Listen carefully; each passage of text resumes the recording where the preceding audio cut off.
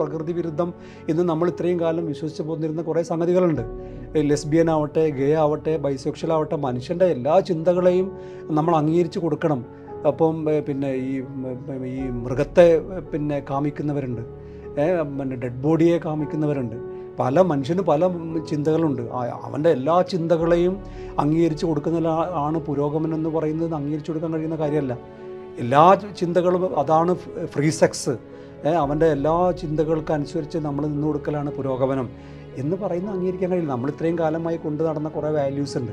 വാല്യൂസൊക്കെ മാറാറുണ്ട്. അത് കാലത്തിനനുസരിച്ച് മാറാറുണ്ട്. അത് ഞാൻ സമ്മതിക്കുമ്പോൾ തന്നെ നമ്മൾ ഒരിക്കലും മാറ്റാൻ പാടില്ല എന്ന് വിശ്വസിക്കുന്ന വാല്യൂസിനെ തകിടം മറിച്ചുകൊണ്ടുള്ള ഒരു ഒരു കോൺസെപ്റ്റ് കൊണ്ടുവന്നാൽ അത് ഭരണകൂടമാണെങ്കിൽ ആരും കൊണ്ടുവന്നാലും അംഗീകരിക്കാൻ കഴിയുന്ന കാര്യമല്ല.